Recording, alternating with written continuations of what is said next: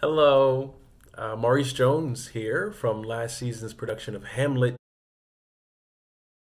Cast thy knightly colour off, and let thine eye look like a friend on Denmark.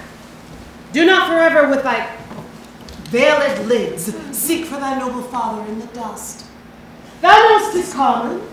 All that lives must die, passing through nature to eternity. Aye, madam, it is common. If it be, why seems it so particular with thee? Seems? Madam, nay, it is. I know not seems.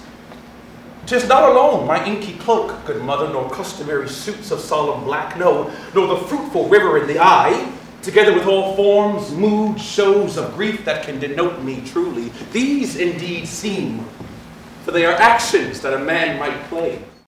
How do I play an iconic character and make him my own? And my answer is pretty simple and, and straightforward. I take a large cue from the character of Mark Antony in Julius Caesar, and whether you want to believe him or not, he calls himself a plain, blunt man.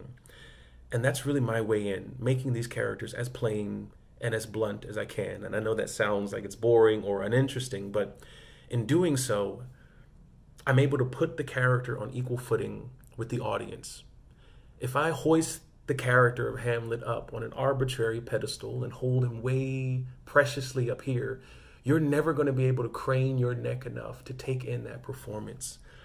But when I bring them down to earth a little bit more and I make them relatable and recognizable and simple and allow you as the audience to see yourself in this character and in these words and in this situation, you're going to walk away with a much deeper and richer understanding, not only of the play, but of who Hamlet is and what he's going through.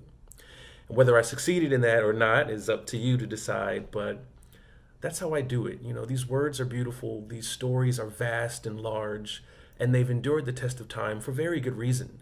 There is a truth to be told in any era of time, but it's best told when you, as the audience member, can really hook yourself in and place yourself in these circumstances. And you can do that by bringing yourself eye to eye with the audience in the telling of these stories. Make it plain and blunt and simple.